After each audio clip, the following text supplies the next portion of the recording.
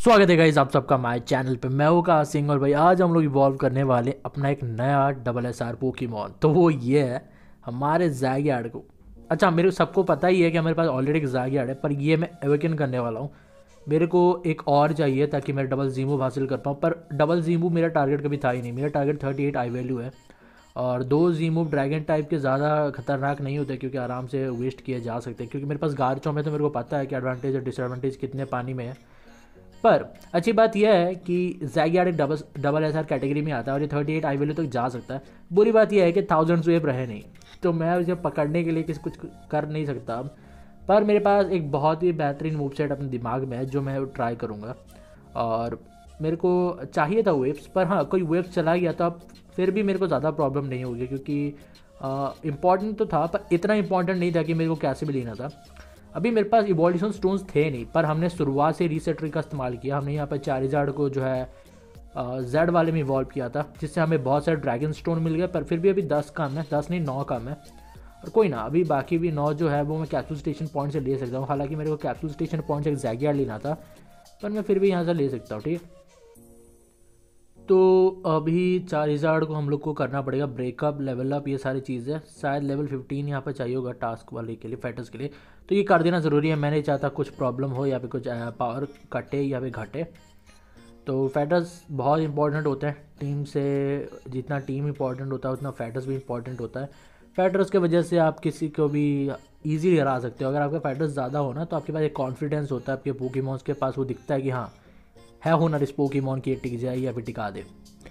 तो फ़िलहाल अभी मेरे को जितना पता है, शायद ब्लू काफ़ी होना चाहिए या फिर नहीं, पर्पल काफ़ी होगा, ठीक है। पर्पल करना पड़ेगा। दो स्टेजेस में आता है चार हज़ार ठीक है, दो डिफरेंट कैटेगरीज में आता है। तो यहाँ पे कैसे भी पर्पल करना पड़ेगा। कॉइन्स है हमारे पास, गनीमत है। और भाई मैंने रीसेट रही, क्या किया मैं पहले बताता हूँ। मैंने पहले सैंड बहुत सारे पकड़े, उसे रीसेट कर दिया, फिर मेरे को ग्राउंड स्टोन्स मिले। फिर मैंने चार हज़ार पकड़े, उसे रीसेट कर दिया, फिर मेरे को ड्रैगन स्टोन मिले। ईजी ये होता है कि मैं अगर फ्लाईगॉन पकड़ता, पर क्योंकि मैं बहुत ज़्यादा फ्लाईगॉन पकड़ चुका हूँ और वो सेम ही है मतलब यहाँ जो मेहनत करूँ, वहाँ पर भी वही मेहनत करूँ। बस यहाँ लेकिन थ्री थ्री हो गया, ज़्यादा मिल जाएँगे, वहाँ पर सिक्स के बाद मेरे को फिर से रीसेट करें, फिर एक बार और सॉल्व करके फिर से रीसेट करना पड़ता। तो बात एक ही है मतलब जितना मेहनत यहाँ करोगे, उतना मेहनत वही करनी है। बस मेरे को ये दो पोकी डक्स एंट्री ज़्यादा चाहिए थे, जो मेरे को चार चार वाई बनाने पर एक मिला। और मेरे को चाहिए था, मैंने सोचा कि चलो लगे यहाँ तो काम कर ही रहे तो थोड़ा पोकी डेक्स एंट्री भी फिलअप हो ही जाएगा।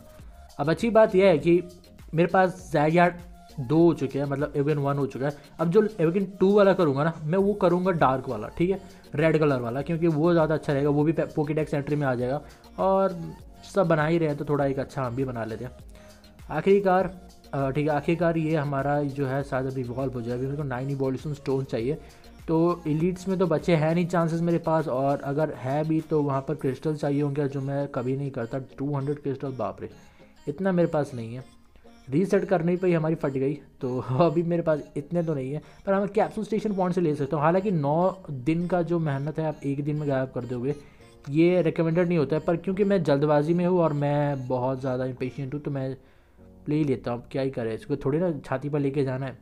है तो ले लेते हैं, जल्दी से इवॉल्व कर देते हैं। क्या पता एक दिन गायब हो जाए उस वाले को ऑप्शन ही ना रहे, पता नहीं गेम में क्या क्या होता है। अच्छी बात यह है कि गाइज़ आज जो हमारे गेम ने है ना ग्लिच था एस एटी टू सर्वर में, आधे से ज़्यादा प्लेयर्स का ग्लिच था, पूरा का पूरा जो मैप था वो ग्लिच था, और वह टास्क कंप्लीट नहीं कर सकते, अब चाह भी नहीं कर पाते। आधे से ज़्यादा प्लेयर्स का ठीक कर दिया गया, पर बहुत सारे प्लेयर्स का ठीक नहीं किया गया, जिसमें से मैं भी हूँ। मेरा वीआईपी और वी आई ज़ीरो दोनों के जो है लास्ट तीन जो स्टेजेस हैं ना, वो अनलॉक नहीं हो रहे। वी आई पी ज़ीरो को तो चलो चलो हो जाते हैं कभी कभार पर वी आई पी का हमेशा के लिए वहाँ पर स्टॉक हो गया जो समर रैली में हमेशा के लिए स्टॉक हो गया है तो मैं वहाँ से आगे नहीं जा सकता कभी। और इन केस मेरे को आगे जाके पक, पकड़ना पड़ता है तो वो थोड़ा प्रॉब्लम हो जाता है। अच्छी बात यह है कि हमने सैंडसल्स पहले ही पकड़ लिए थे तो वो प्रॉब्लम नहीं हुआ। इसलिए मैंने चालीस को चूज़ किया ताकि जल्दी से बन जाए।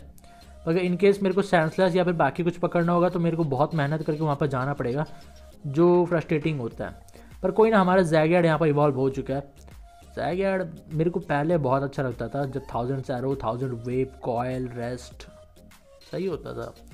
मैंने क्या सोचा था ना भाई, बाकी सब तो ड्रैगन टाइम मूव यूज़ करते मैंने सोचा था मैं कॉयल यूज़ करूँगा thousand arrows and waves and rest इस्तेमाल करूँगा, जो ओवरऑल बहुत सही रहता।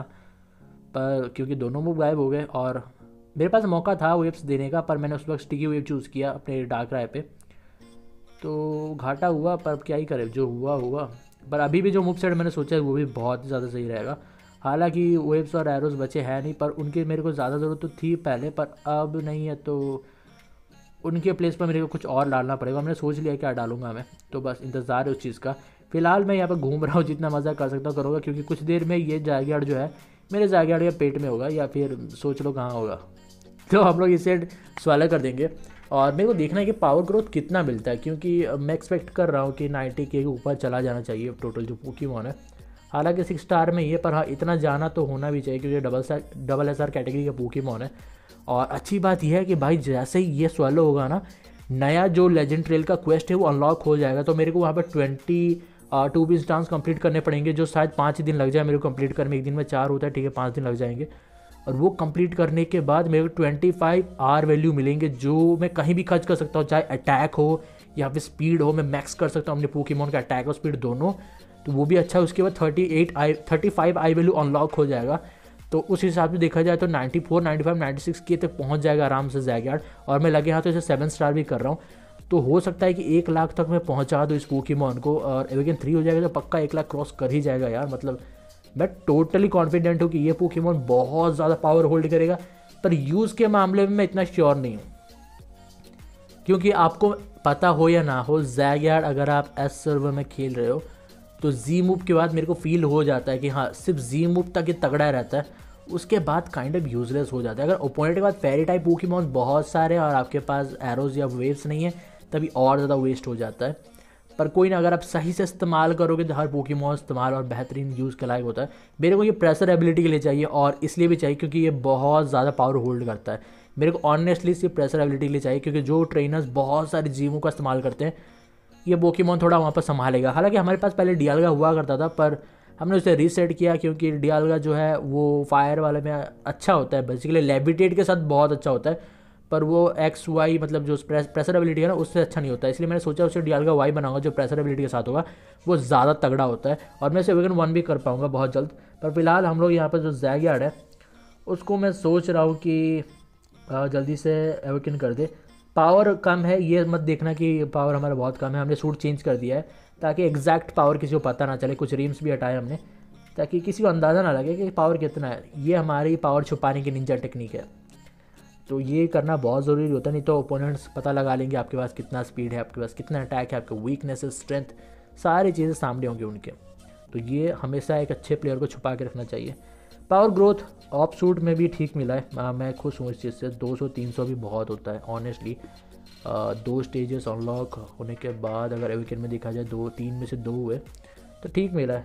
तीसरे वाले में हमें पता चलेगा ठीक है अभी किया हमने हाँ ठीक है अच्छा पावर मिला है। अब मैं जब सूट टाइप पे लेके जाऊँगा तब मैं इसे देख पाऊँगा कितना पावर मिला है।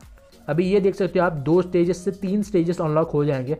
अभी दो जो होंगे वो एक होगा आ, क्या बोलते हैं उसको? ट्वेंटी फाइव आर वैल्यू का उसके बाद होगा आई वैल्यू थर्टी फाइव और फिर आखिरी वाला जो होगा वो सेवन स्टार उसके बाद एविकेंट टू डबल जी मूव उसके बाद होगा ट्वेंटी फाइव आर वैल्यू और और उसके बाद लास्ट में थर्टी एट आई वैल्यू जो बहुत ज़्यादा डिमांड में है मेरे लिए। मेरे को बहुत ज़रूरी है वो। और ये सब पावर मिलने के बाद पावर अगर सारी चीज़ें मिला दो टरानटॉर जैगयार्ड मोवाइल ग्राउडॉन गेंगर स्वॉम्फर्ड गैलियो डोमिनेटिंग होगा। अगर मैं आर सेवन स्टीली से बना रहा तो और ज़्यादा मज़ा आएगा। और अगर स्कार डायक्रा बन गया ना, कसम से भाई, सिर्फ़ तीन चाहिए मेरे को मेगा वो, सिर्फ़ तीन ही चाहिए मेरे को। तब तो भाई खैर नहीं भाई ओपोनेंट्स की। फाड़ फाड़ के मारूँगा दौड़ा दौड़ा के मारूँगा, जितने लोगों ने डार्क बोर्ड चला चला के मारा है, तंग किया ना, सबको डार्क बोर्ड से ही मारूँगा मैं। पर तब तक जैगयार्ड बन रहा है ये बात की अच्छी मतलब खुशी है मेरे को। मेरे को दो मेगा और चाहिए ताकि मैं एवकेन टू कर पाऊँ डबल जीमो हासिल कर पाऊँ। पर देखा जाए तो मेरे को एक्चुअली सात आठ, नौ, मेरे को नौ मेगा जैगयार्ड चाहिए ताकि मैं उस गोल तक पहुँच पाऊँ जो मैं चाहता हूँ। तो अगर इवेंट में कभी भी जैगयार्ड आता है उस चीज़ के लिए मैं अभी से सेव कर रहा हूँ। मेरे पास तकरीबन वन थर्टी के आसपास हो जाएँगे इस इवेंट के ख़त्म होने तक। और देख लिया जाएगा मतलब क्या होता है। होपफुली कि मेरा जैगार्ड जो है वो आर थ्री हो जाए। इससे पहले कि गेम डेड हो या फिर मैं लीव करूँ, तब बहुत ज़्यादा अच्छा होगा। बहुत ज़्यादा मज़ा आएगा थर्टी एट आई वैल्यू वाले पोकीमोन के साथ। और हार्ड सूट में बहुत ही कम ऐसे पोकीमोन है जो थर्टी एट आई वैल्यू तक जा सकता है। अलॉय निंजा जा सकता है म्यूटू भी जा सकता है और जैगयार्ड भी जा सकता है। शायद टेराकियन भी जा सकता है थर्टी एट आई वैल्यू तक, पर वो सब महँगे पोकीमोन है यार। जैगेट सबसे सस्ता है, इसीलिए हमने इसे अपनी टीम में डाल दिया। टीम में भी डाला नहीं है, पर डाल ज़रूर देंगे। सेवन स्टार होगा, या टीम में होगा।